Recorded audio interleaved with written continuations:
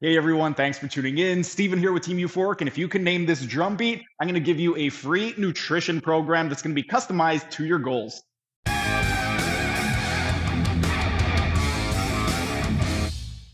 This is week two of Name That Tune, and for this week, I'm going to give you guys three hints. Hint number one, this tune comes from my favorite band. Hint number two, this song comes off of their most technically proficient album. And hint number three, that bald asshole Simon Miller should definitely be able to name this tune. And Simon, if you're up for the challenge, pause the video right now, do a live reaction, and let's see how long it takes you to name that tune. But here is the drum beat.